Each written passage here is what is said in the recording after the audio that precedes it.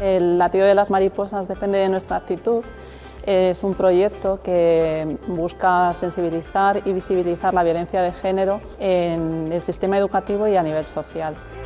Lo que queremos es que las personas sepan que con su actitud, que es el, nombre de nuestro proyecto, pueden generar un cambio en nuestra sociedad y entre todos conseguir que la violencia desaparezca.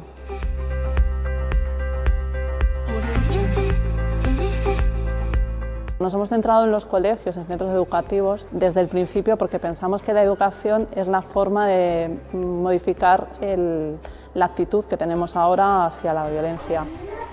La mariposa. ¡Ah, la mariposa! ¡Ay, a mí! Entonces somos, somos iguales, porque a mí también me gusta. Pues mira, te voy a dar una muy especial para ti, para que la vayas a colorear. El latido de las mariposas depende de nuestra actitud. Nace, eh, desgraciadamente, el 25 de septiembre de 2018, a raíz de escuchar una noticia, un suceso de violencia vicaria, sin indiferencia. Ponerme en la piel empatizar con esa madre, con esa familia rota y decir y, y pensar, ¿qué puedo hacer yo? Una mariposa con unas alas preciosas, violetas y llenas de palabras. Abrazarse. ¿Os gustan los abrazos? A ver, a ver, que levante la mano quien le gusten los abrazos. Os quiero explicar qué significa este símbolo y sobre todo el por qué. Su origen data del 25 de noviembre de 1960. Las hermanas Mirabal, Patria, Minerva, María Teresa, conocidos en Ojo de Agua como las mariposas, fueron asesinadas. Y ese caso es el primer caso que se data como un suceso de violencia de género. Ese origen de las mariposas lo traslado al efecto mariposa. Las niñas pueden ser lo que quieran ser, igual que los niños, porque si uno lo desea con muchas ganas, muchas ganas, muchas ganas, al final lo consigue.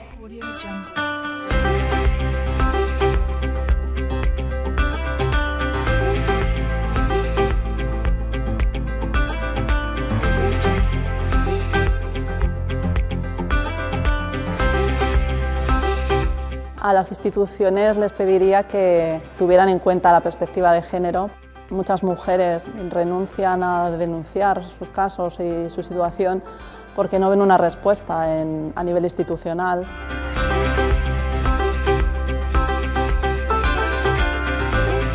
Quería agradecer a la Diputación el que nos concedan este premio y bueno, a toda la sociedad decirle que todos y cada uno de nosotros podemos hacer algo, que nuestro proyecto va de eso, de personas individuales unidas por un mismo fin y que es eh, acabar con la violencia de género.